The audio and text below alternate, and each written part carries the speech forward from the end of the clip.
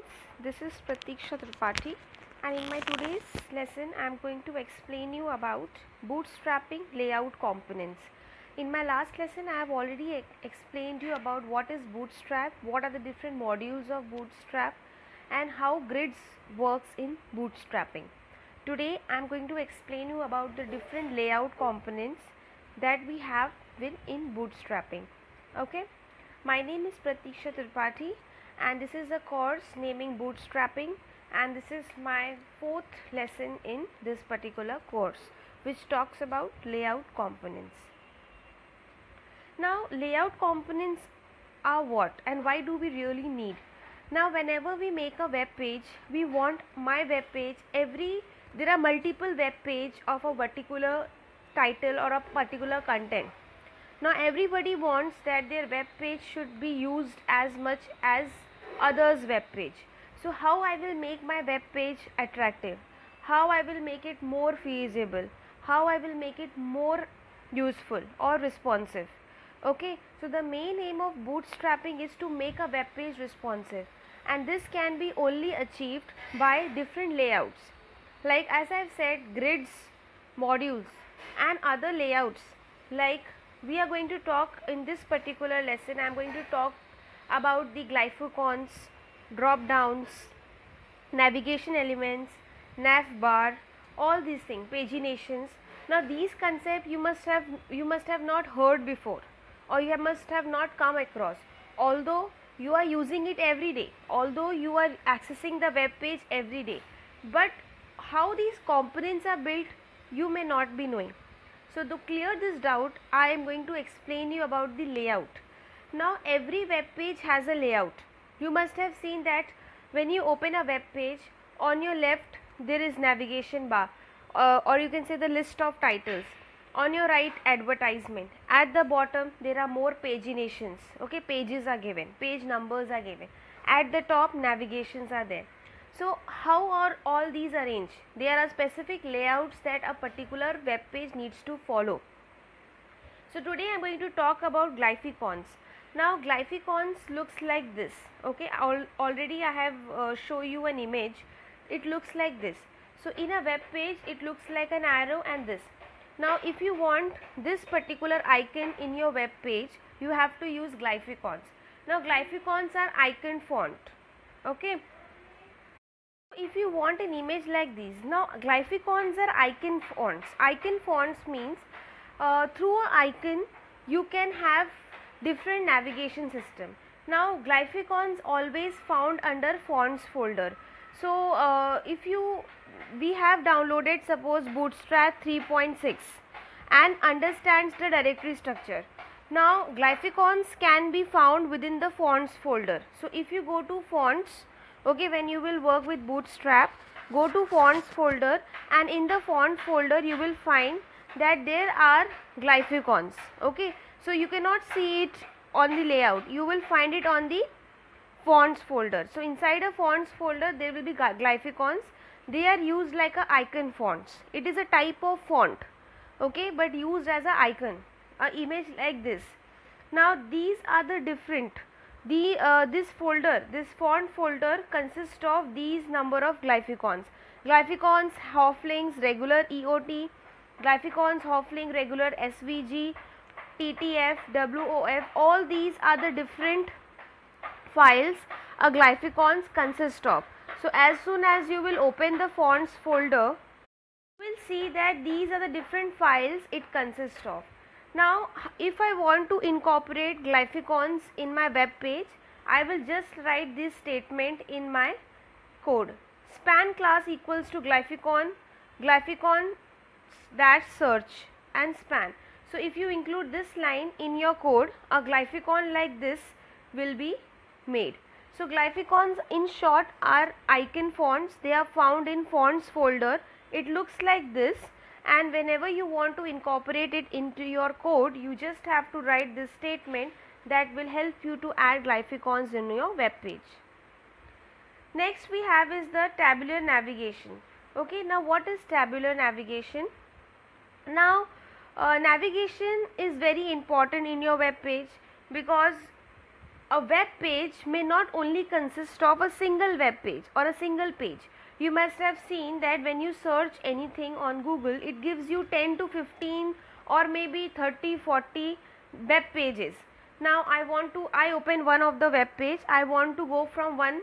Now in that web page, I may have 10 other pages attached to it. So if I want to go from one page to another page to another page, what I actually need, I need a navigation bar. Without a navigation bar, I cannot move. So navigation is a very important phenomena when it comes to web page. Okay, in web pages, it is very important to work with navigation bar. Now there are many types of navigation bars. So the very first that we basically use is the tabular navigation or we say tabs. Okay. Now you must have also used it like for example uh, you, you you open Google Chrome. Okay now you want to open a new new page. So you you click on new tab. New tab means a fresh fresh page will be opened for you. So it is called as tabular navigation or tabs. Okay so this is the class file that we have to incorporate in our code. Dot nav dash tabs and the tabs will be look like this. Okay i have given you a photo or a picture. How does it look? Okay i will zoom it for better understanding.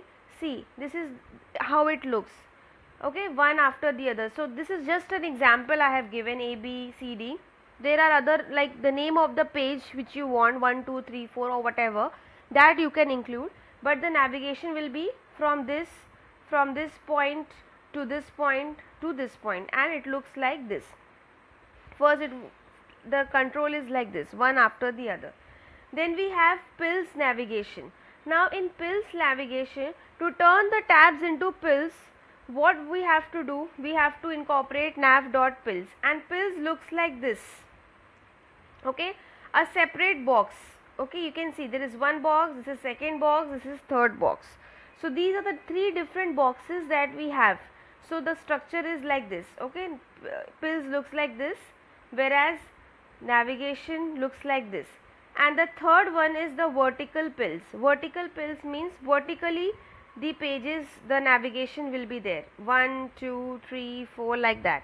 So here one after the other here separate boxes and here vertically arranged. So these are the different ways you can give a navigation to your web page okay? You can include any one of them. It is not important that you should always work with this or with this or with this. You can include any one of them. Next we have is the breadcrumb okay? Now what is this breadcrumb? You must have hearing this particular word for the first time also. So breadcrumbs are a great way to show hierarchy based information. Like for example i want now web page is basically what a web page do? Web page only gives you some information okay it can be the information of a of any product or of a property or of a particular people or a Wikipedia or something like that. Okay, web pages are built for giving information. Now they cannot be useless. They have to provide some relevant information. But suppose that information is arranged in a hierarchical order. Hierarchical order means hierarchy based one after the other. Like the very first then the second then third and fourth. In a hierarchy order it is called as breadcrumb. Okay? So we have to include this class file dot breadcrumb. Okay? And this is the code. Suppose I wrote a code Pratiksha 2017 August. Now I want this particular information to be included on my web page in the form of breadcrumb. Breadcrumb means in a hierarchical order. So it will look like this this is an example. It look like this. Pratiksha 2017 August. So this is the way this particular web page will the breadcrumb or the information the hierarchical order will be displayed. Okay? Next we have is the pagination.